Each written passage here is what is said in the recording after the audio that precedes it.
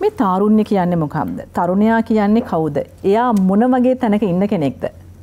මේ නව පරම්පරාව මේ අලුත් පරම්පරාව අපි කියන මේ ජෙන්සී එහෙමත් නැත්තං එකට පස්සයාප අලුත් පරම්පරාව මෙයාලා හැදුනේ වැඩුනේ තාක්ෂණ ඇත් එක්ක.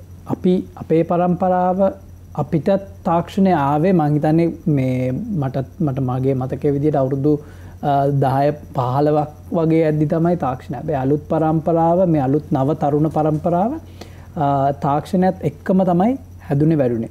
ඒ නිසාම එයාලා හිතන විදිය සහ එයාලගේ එයාල පතන විදිය හරි වෙනස්. ඒ වෙනස් වෙනස් මත එම එම නැතන් හරි දියුණු මතවාදයක මත තමයි යාල දරන්න එකට හේතුව තමයි එයාලාගේ එයාලට තොරතුරු රැස්කර ගැනීමට ඉතාමත් පහසුවීම සහ අන්තර්ජාලයේ තියෙන සමාජයේ වෙන සිදුවෙන වෙනස්කම් ඉතා ඉක්මනින් යාල අල්ල ගන්න නිසා.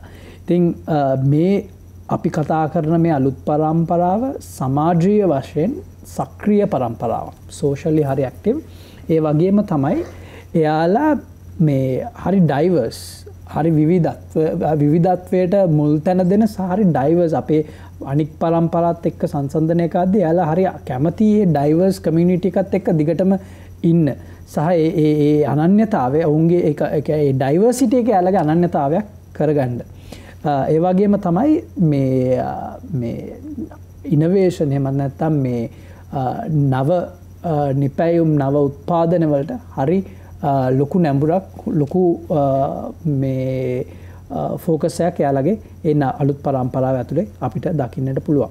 ඒ වගේම තමයි මේ එයාලා විශේෂයෙන්ම විශේෂම කාරණය තමයි එයාලා හරි සමාජයත් එක්ක සමාජ සමාජයේ රටේ දේශපාලනය හෙවාගෙනම සමාජ ප්‍රශ්නවල් වලදී ඒකට සක්‍රියව දායකත්වය දෙනවා. එතකොට ඉන්වෝල්මන්ට් එකත් හරි හරි වැදගත් මේ ඒ පරම්පරාවේ තරුණ අලුත් තරුණ සමාජය අවබෝධ කරගන්න.